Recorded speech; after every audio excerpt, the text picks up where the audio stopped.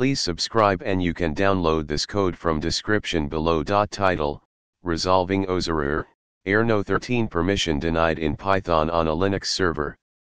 Introduction In the realm of Linux servers and Python scripting, encountering the infamous OSError, error no 13 permission denied error is not uncommon. This error arises when a Python script attempts to perform an operation that requires higher privileges than the user running the script possesses. This tutorial will guide you through understanding the error and provide solutions to overcome it.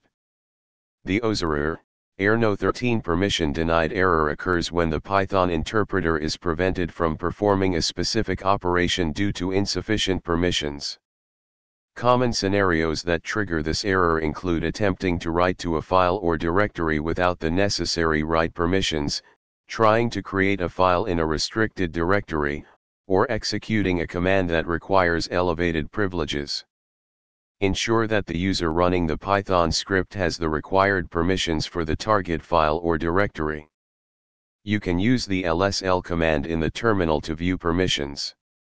If the user lacks the necessary permissions, use the chmod command to modify them. If the operation requires elevated privileges, you might need to run the script as the root user or using sudo.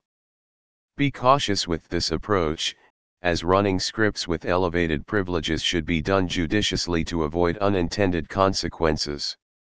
The OSError, error no 13 permission denied error is a common hurdle in Linux server scripting.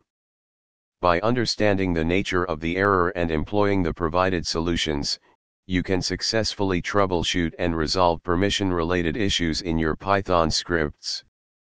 Always exercise caution when modifying permissions and running scripts with elevated privileges to ensure the security and integrity of your system.